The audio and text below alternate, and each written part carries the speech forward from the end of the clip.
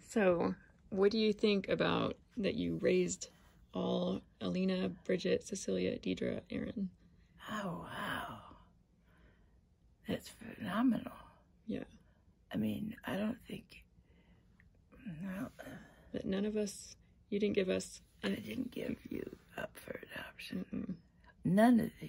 mm-mm. Dana, the very first one, Yeah. but not. Then you had five more, and you kept all of them. Oh, so glad you told me that. yeah. Oh my gosh. All those years I wondered, Yeah. you know? Yeah. But but they're with you. We're here. We're still Mhm. all here. Oh, Yeah. how do you feel about it? Good.